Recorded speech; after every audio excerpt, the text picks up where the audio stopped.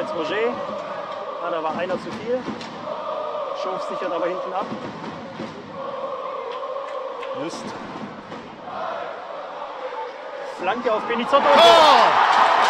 Sechsten Benizotto auf Justin Kelly, der die Scheibe nur noch über die Linie streicheln musste. Die frühe Führung, keine zwei Minuten gespielt. 1 zu 0 für die Steelers.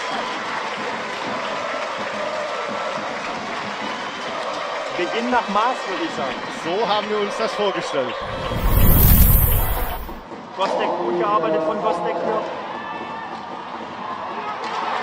Gostek jetzt aber auf Cabana, ja. In, den, in der Mitte fährt McKnight. Schöner Move von Cabana. Cabana holt sie sich und Tor! Klasse Tor von Freddy Cabana. Technisch überragend. Verlädt er seinen. Gegenspieler. Verlädt Peter Holmgren.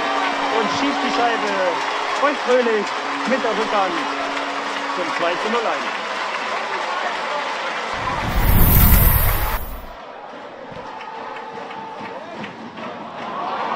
Fehler jetzt und Tor. Und Tor. Tom Fiedler nutzt den Fehler hier und verlädt Martinovic zum Anschlusstreffer. 3 Minuten 50 vor Ende. Neuer Spielstand 2 zu 1. Ja, so schnell kann es gehen. Denke, Kevin Godet hat die richtigen Worte in der Kabine gefunden.